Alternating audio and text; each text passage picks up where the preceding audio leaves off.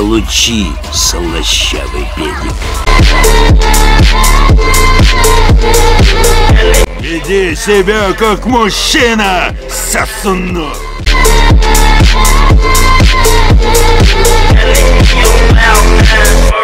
Беги домой, к мамочке!